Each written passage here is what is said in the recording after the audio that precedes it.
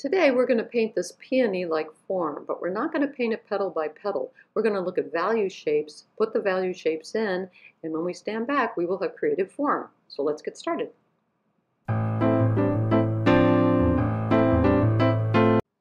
So let's talk through painting a peony, although I think this is actually a rose, but it's a peony form because it's not a cone, it's more like a platter.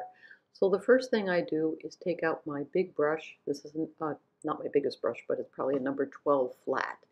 And what I'm doing there is putting in Naples yellow anywhere that I want to preserve as white because I don't use uh, masking fluid. Not, not on peonies anyway, because we're talking about really soft forms and masking fluid will always leave a sharp edge when you pull it off. And I'm usually not able to integrate that successfully. So all I've done so far is squint and look for my lights. Now I'm looking at my darks. And what I'm going to end up doing is painting this painting from darks to lights. So I'm going into those deep crevices with alizarin, al, uh, not alizarin crimson, with uh, some permanent rose tipped slightly with a little bit of ultramarine blue. Now I'm not painting petal by petal. You can see those aren't petals, those are forms because I'm squinting and looking for any place where I can see value shapes. Those value shapes, if I identify them correctly, will create forms.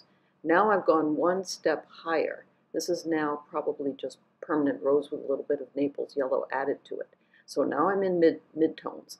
The rule here is that I can't put anything in that's as dark as what I've already put in, and I can't put anything in that's lighter than the Naples yellow that I started with. As long as I adhere to that, I can use colors to create forms. So that's what I'm doing here. And I have a variety of reds that I've mixed up. Some are just uh, the uh, permanent rose. Some have a little bit of permanent rose with orange in it. Some have permanent rose with a little bit of Naples yellow in it.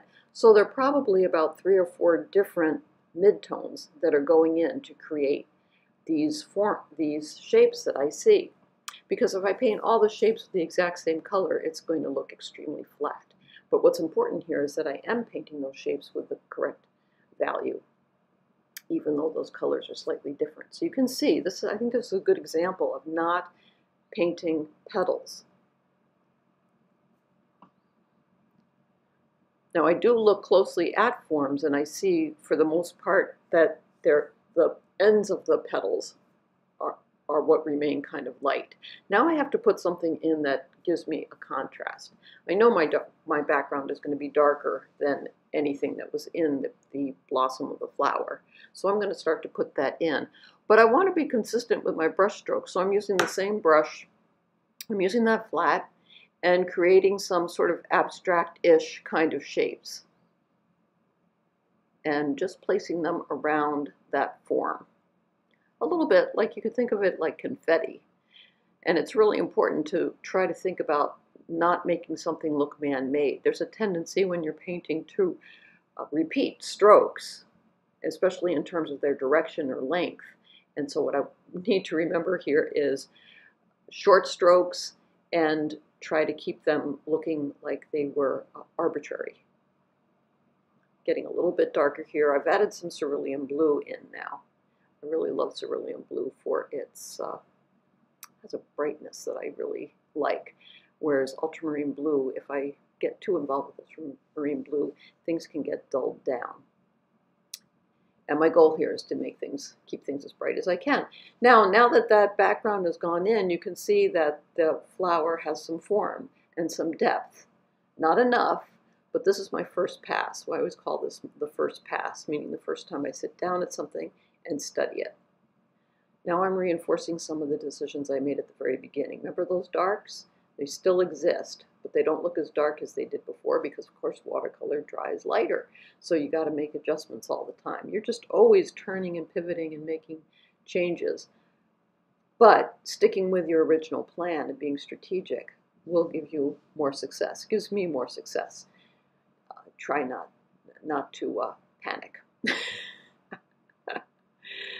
All right, now what I'm doing is I know that there are very few actual whites on the form, and there's certainly no whites on that flower form in the places where the sun isn't hitting it. So I'm getting rid of anything that reads as white that's in the shade. And I'm doing that with just a little bit of dulled down permanent rose with a little bit of Naples yellow in it. It's really important to do that so that once again, there's a creation of a round form. So once again, this always comes up that white in the shade cannot be as white as white where the sun directly hits it. That's going to be your whitest whites, where the sun hits those petals. Even if those petals are pink, they have to be uh, bright or, or light, is what I should say, not bright. And in my case, my lightest lights are the white of the paper. And the minute I change that, if I do anything to the paper, I can never get those whites back, not with gouache or, or anything else. So that was the first pass. I go away because by then I'm a little tired. You know, my brain has worked really hard at making these major decisions, going from my starting with putting my whites in, then putting in my darkest darks, and then putting in all those different midtones. Now I'm back and it's time to finish this thing up. And in order to do that, wow, here I am, right back where you saw me do this. I've done this twice already, gone in where the darkest darks are. Only now I've tipped my permanent uh, rose with a little bit of that ultramarine blue because it's dark in there. It's dark in those crevices. I have switched to a round brush, and that's because I want to keep things really, really soft. I don't want to have, I want to have some hard edges, but not uh, as many hard edges as I have. And now I'm using some permanent rose to kind of reinforce some decisions, decisions that I previously made. But staying in the midtone still. And at this point, I, I'm, I'm pretty happy with this. I'm pretty happy with the blossom, but now it's important to go back and reinforce the background. Add more color and shapes to the background. There's some nice cerulean blue going in there. Now, if I was to make this extremely dark in the background, I would have what I call an islands um, surrounded by oceans painting. That's where you have something, you know, a, a form that's surrounded by a vast amount of sea or, or ocean. And I wanted to integrate this, and I've integrated this blossom, I think, by creating these flower-like petal-ish forms around it. So I think it reads okay. So that is one way to paint peonies, which is to look at their overall shapes and create values that are the same as those shapes that you see, and you will start to discover that you can create forms.